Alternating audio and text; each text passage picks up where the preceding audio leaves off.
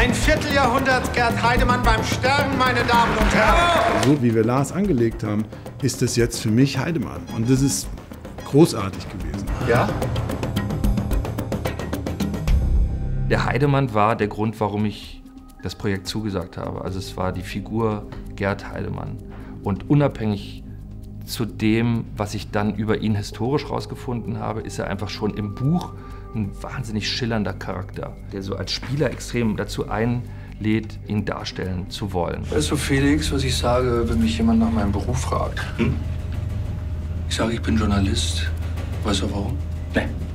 Weil ich einer bin. Das Spiel mit Lars, was immer wieder einfach einen irren Spaß macht, ne? weil das einfach ein Kollege ist, der so äh, begabt, so genau ist, dass du, du, du kannst noch so kleinen Ball schmeißen und er fängt den und schmeißt ihn zurück. Und dann gerade in der Comedy macht das halt irre viel Spaß. Ne? Ich bin Gerd.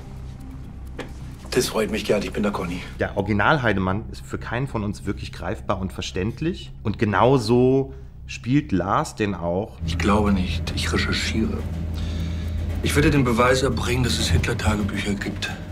Ich bin ein großer Lars Eidinger-Fan, obwohl ich noch nie mit ihm gearbeitet hatte, weil das wirklich ein, ein Traum ist, mit ihm zusammenzuarbeiten. Und ich habe selten jemanden erlebt, der so viel Lust an der Arbeit hat.